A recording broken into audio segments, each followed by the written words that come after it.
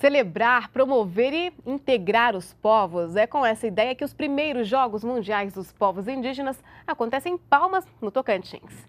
Nesse fim de semana, competições como o arremesso de lance e uma disputa de peso com o cabo de força. A repórter Sumaia Vilela está em Palmas e tem outras informações. Sumaia, uma boa noite para você.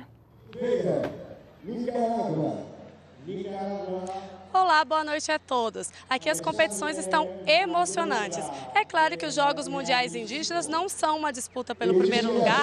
A ideia é celebrar, é promover a integração entre tantos povos diferentes, mas aquela disputa saudável na hora da partida faz parte e, olha, está empolgando o público. Neste final de semana, o Brasil, ou melhor, algumas etnias brasileiras, tiveram seus momentos de glória aqui na Arena Verde. Neste domingo, no arremesso de lança, a competição estava bem equilibrada, com os Estados Unidos na frente frente, até que no último arremesso, Itaguari, do povo Pataxó, fez um lançamento insuperável de mais de 45 metros. O campo de medição tinha 60 metros, então foi perto do limite final.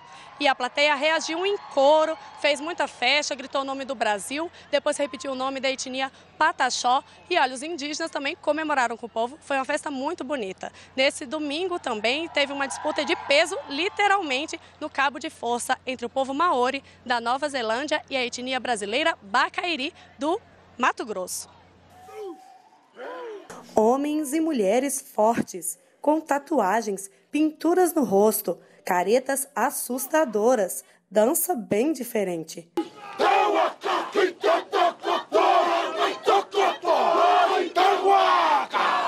Os Maori, povo da Nova Zelândia, estão chamando a atenção nos Jogos Mundiais dos Povos Indígenas em Palmas, Tocantins.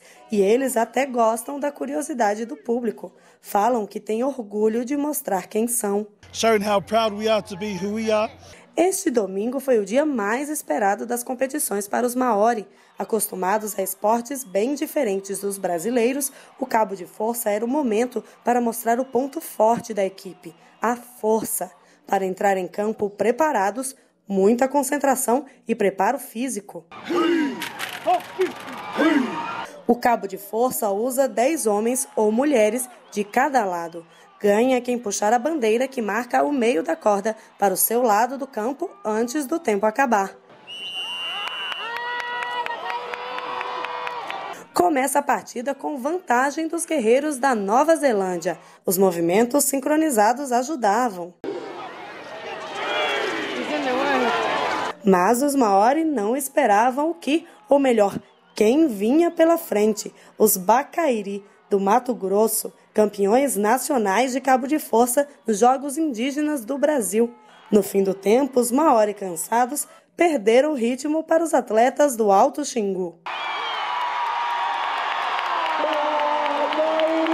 E eu estou aqui com a etnia que ganhou essa partida. Eu vou falar com o Reginaldo, que é representante aqui do povo. Você falou que puxou caminhão também, né? Treinou bem forte. Como é que é isso? Sim, a nossa preparação tem uma parte de, de material, é, puxando tratores, caminhões, né? Fazendo aquele tudo força para preparar o, o atleta e a plateia ainda tem muita etnia brasileira para torcer. As competições vão até o dia 31 de outubro. Mas o espírito não é de rivalidade a todo custo, é de espiritualidade, de confraternização e de agradecimento pela experiência e bênção a todos os presentes, como deseja o guerreiro Maori em língua nativa. Te motu, te whenua, o Aotearoa, te Ikamaui.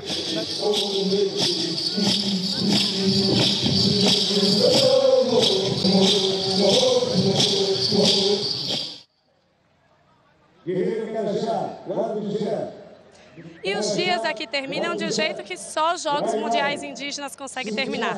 Sempre tem um ritual sagrado para agradecer, pedir proteção, comemorar.